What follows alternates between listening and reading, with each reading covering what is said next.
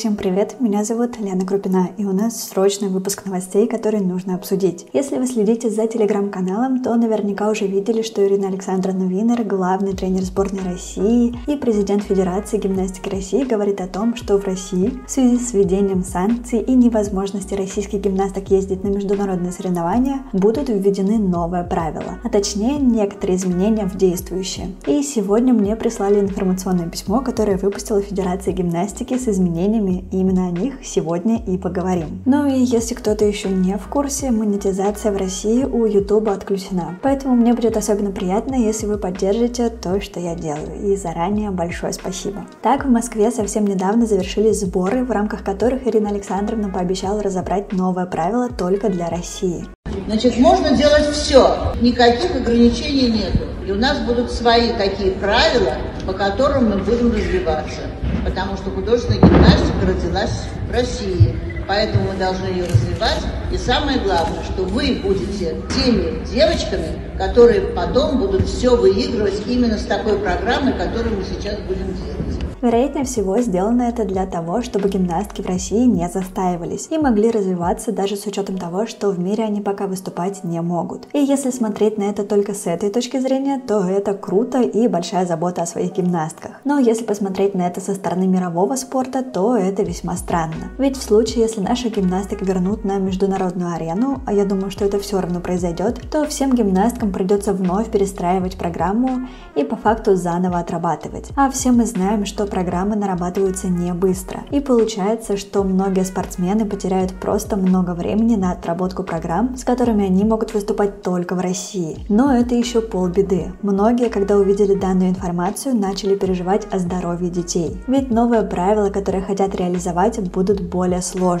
Но что именно написано в информационном письме и в изменениях к новым правилам, и какие изменения на практике Федерация хочет реализовать, давайте разберемся по порядку. Первое изменится стоимость технически сложных элементов трудности тела. Но здесь обещали позднее прислать информацию с новой стоимостью. Как я понимаю, просто какие-то элементы, которые сложные по мнению России, будут стоить дороже. Вероятнее, это такие элементы, как Лала Крамаренко или прыжок в кольцо с падением на колени. И в целом, я думаю, это будет похоже на небесную грацию по стоимости элементам. Из минусов, что в погоне за сложными элементами больше гимнасток, вероятнее, будут ломаться. Здесь, конечно, будем надеяться на хороших тренеров, которые будут максимально осторожны и не быстро подводить к каким-то сложным элементам гимнасток. Еще одно изменение, которое также повысит нагрузку на спортсменок, это отсутствие ограничений на трудность тела и предмета. То есть по новым правилам для России гимнастки могут выполнять сколько угодно трудностей и набирать этим баллы. И это может быть хоть предмет, хоть тело. Из минусов. Вероятно, что гимнастки, у которых хорошо с владением тела, будут все упражнения только и делать, что трудность тела. А гимнастки, у кого хорошо с предметом, будут делать слишком много трудностей предмета. Так что, возможно, на практике это будет выглядеть не очень разнообразно. Но опять же, не увидим, не поймем. Когда сняли ограничения по набору оценок, смотреть стало интереснее, на мой взгляд. Так что, может, не будет перекоса, опять же, это увидим только на практике и будет зависеть от постановщиков. Также по новым правилам будут поощряться новые оригинальные трудности тела и предмета. Это изменение мне кажется крутое. Такие штуки я люблю, когда девочки придумывают что-то уникальное и потом за это получают надбавки. Следующее дополнение, что теперь гимнастки с 14 лет выступают по сеньорам, а гимнастки с 13 лет могут выступать как по сеньорам, так и по юниорам. Тоже довольно спорный пункт. Судя по фигурному катанию, они наоборот идут на увеличение возраста. Мое отношение к этому, наверное, будет не особо популярное, но мне кажется, это не так плохо, а даже будет интересно, если это, конечно же, не будет сказываться на здоровье. Так, например, я бы уже с радостью посмотрела по сеньорам на Машу Борисову, Анну Попову и Лилиану Левински. Возможно, если бы это было раньше, мы бы увидели на Олимпиаде и Софию Рафаэли. Но понятно, что на данный момент это все только для России, но я все равно перекладываю это на мир. Ну и как я поняла из того, что говорила Ирина Александровна, что возможно по этим правилам потом будет выступать и весь мир. Как я понимаю, цель именно такая. Видимо, на небесной грации никто не остановился. Следующее изменение, которое мне кажется будет очень интересным, это то, что сеньоры и юниоры теперь должны будут выполнять упражнения без предмета. То есть по факту у нас появляется еще один вид. Ну и судя по дополнению, что гимнастки должны будут выполнять БП в платье или костюме для показательных, это скорее будет похоже на гала-концерт, насыщенный элементами и который будет оцениваться. Ну и странно, как девочки будут успевать это все отрабатывать, ведь даже с четырьмя упражнениями не все справляются.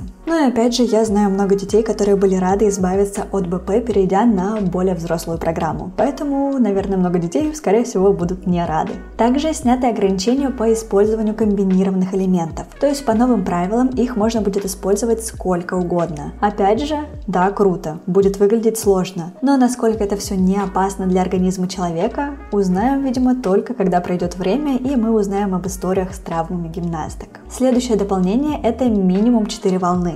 А вот это прям круто на 100%. Точно ничего плохого в этом нет, но и то, как гимнастки используют волну в упражнениях, порой это смотрится очень круто и необычно.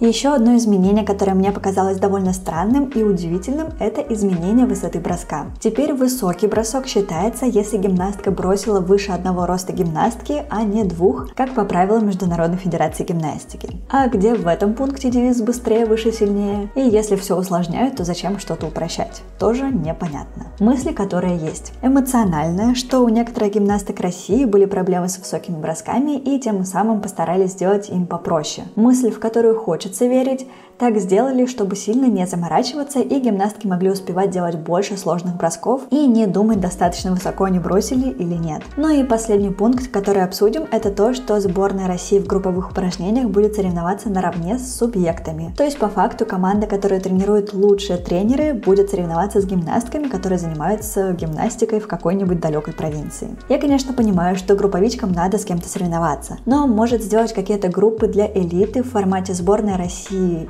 первая команда, вторая, третья соревнуются между собой. И субъекты отдельно между собой. Просто по мне это понятно, что Россия-1 будет выигрывать. Но немного обидно за команды, которые могли бы подниматься на первые места. Конечно, возместить это хотят тем, что результаты сборной России будут идти в зачет гимнасток, из какого они региона. То есть по факту просто будет больше мотивации попасть в основной состав сборной России. Но все равно для меня это изменение странное. Опять же, посмотрим на практике. Ну и подводя итог. Ирина Александровна в любом случае большая молодец, молодец, что старается как-то мотивировать девочек и найти способы для их развития. И сделать так, что гимнастки России не стояли на месте. Но, правда, минусов, на мой взгляд, в этом сейчас больше. Во-первых, гимнастки только перешли на новые правила. Составили упражнения, потратились на хореографов и постановщиков. И сейчас нужно заново все переделывать.